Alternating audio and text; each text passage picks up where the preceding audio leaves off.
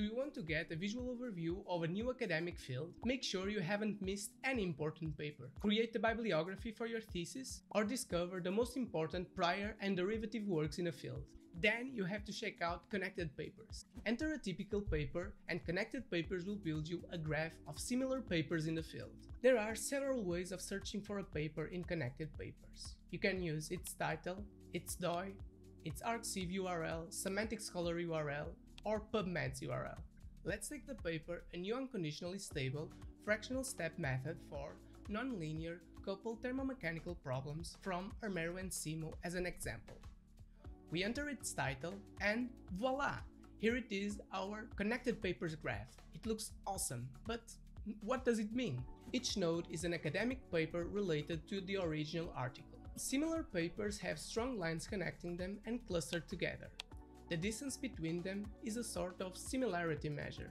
According to connected papers, their content is similar and they cover the same niche of this scientific field. The size of a node is its number of citations. Heavily cited papers have the largest nodes, and so the largest visual weight if you will. They are probably influential papers worth checking out. In our example, these papers are the ones with the most citations. The color of the node is its publishing year. The darker the shade of blue, the more recent the paper is. This also leads to the more recent papers having a more considerable visual weight. They are the most up-to-date takes on this particular niche of a scientific field and present the latest advances in the area. In our case, the papers by Kim from 2011 are the most recent ones. They probably contain the most recent takes on these ideas. The papers whose nodes are the largest and the darkest will probably help you the most. Explore and build graphs for exciting papers that you find. Soon you will have an accurate visual understanding of the trends, popular works and dynamics in the field you are interested in. For a more concrete application, let's say you are collecting papers for your thesis bibliography. You've already found many interesting papers that are helping you understand the subject. To make sure you are not missing out on any important paper, start with those and fill in the gaps using connected papers. It's a literal goldmine.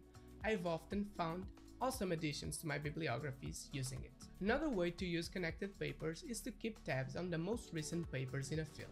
For example, in areas such as machine learning, so many papers are published each year that it's difficult to keep track. With connected papers, you can search and visually discover the most recent papers. Remember, they are the darkest in color.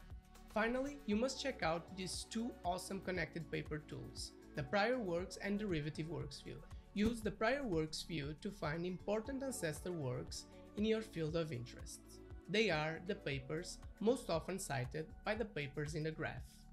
This usually means that they are seminal works in the field and they are worth checking out. You can use the Derivative Works view to find literature reviews in the field and recently published state-of-the-art following your input paper.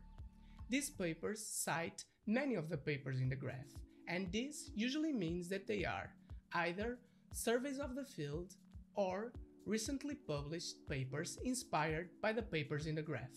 Check out Connected Papers, it is an awesome tool that will help you out a ton.